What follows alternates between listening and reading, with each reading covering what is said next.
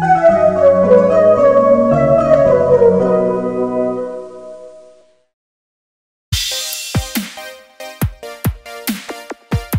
maritime cybersecurity.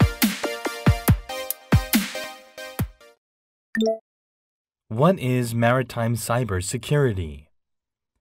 Does it mean technology of preventing hacking of ship computers? Or does it mean defense of the internet network between shore and ship? Or does it mean the information security ability of the crew? Those are all correct. Cyber risk management is activities that block or reduce cyber risk by identifying and minimizing threats and vulnerabilities. Cybersecurity to protect assets, IT systems, OT systems, information and data from unauthorized access, manipulation, and disruption. In other words, cybersecurity is all activities to maintain the CIA by identifying and minimizing threats and vulnerabilities. IMO and various shipper organizations are pushing forward necessity of cybersecurity via international standard. This is a just cybersecurity management system. IMO encourages administrations to ensure that cyber risks are appropriately addressed in safety management systems no later than the first annual verification of the company's document of compliance after 1st January 2021. Digitalization, automation, and integration of the modern maritime industry have ships and land systems exposed to cyber threats such as hacking, malware infection, and ransomware.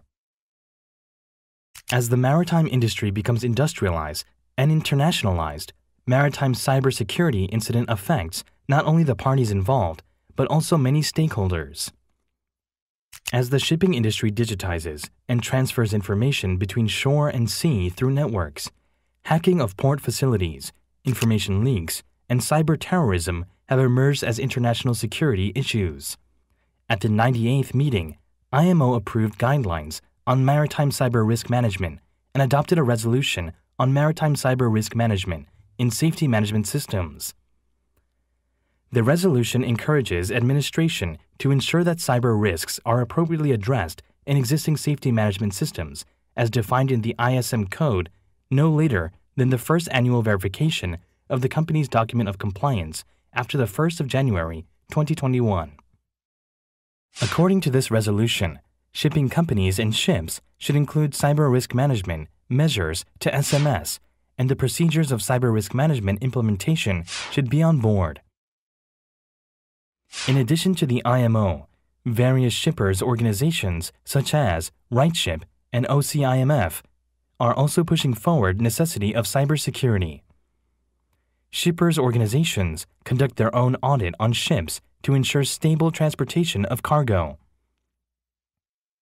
OCIMF assesses ships' operating capacity through TMSA and SIRE. RightShip does the same through inspection and assessment report for dry cargo ships. Shipping companies and ship managers wishing to verify a cybersecurity system take advantage of the cybersecurity certification by various classification societies. The certification of the Classification Society is more specifically designed for management system of ships and shipping companies than ISO standards. The certification of cybersecurity by classification societies can meet the cybersecurity requirements of international standards, such as ISO and NIST.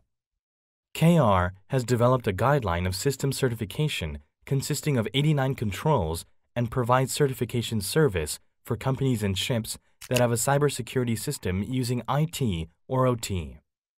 KR certifies cybersecurity on existing ships, companies, and new ships separately.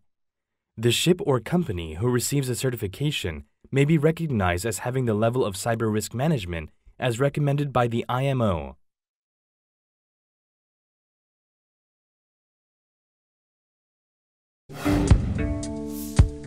you